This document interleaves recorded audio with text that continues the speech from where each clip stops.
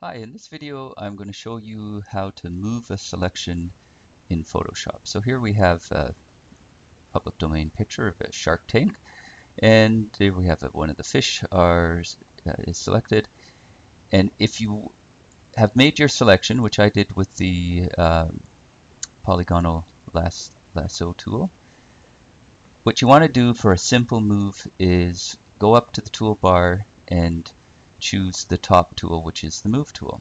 right? Then you can just grab it and move it over. Now, of course, what you'll find is that leaves a big hole uh, of the background color where the selection used to be. Now that might be fine, um, but you may also, of course, want to patch that up. So that's that's just the, that's the simplest way to move, right?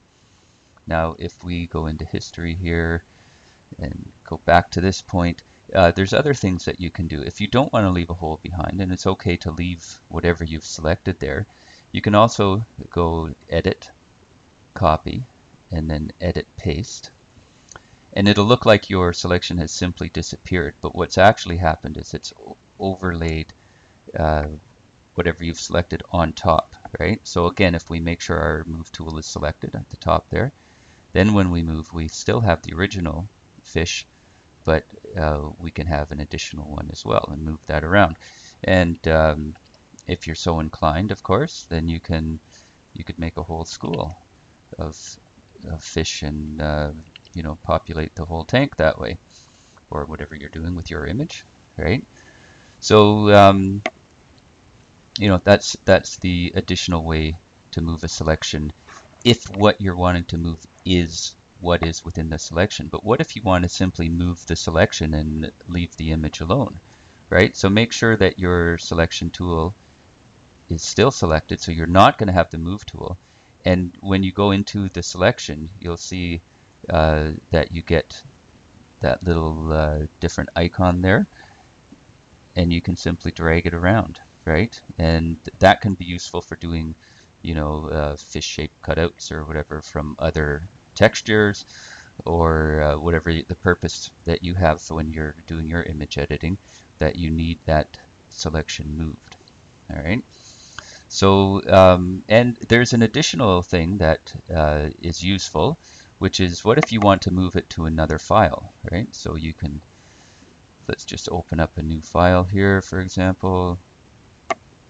Um, go ahead. There we go. So we have our selection, right? We can make sure that we save the selection in this file, right? So dark outline, for example, so we don't lose it. So once we have, um, oh, I'm in a different view here. There we go. So we have our original selection in the one file. We have our other file open in another tab, right? You have your tabbed interface up here. So what you can do is the same way that you could move the selection itself around here, you can drag it up to that tab and the new tab will open and then drag back down into the document to approximately where you want that selection to be and then there it is right so um, it's a great way to get a selection shape from one file into another uh, for whatever purpose you need that to be. All right, so there's a variety of ways to move a selection in Photoshop. Hopefully that has been helpful. Thanks for watching and please subscribe.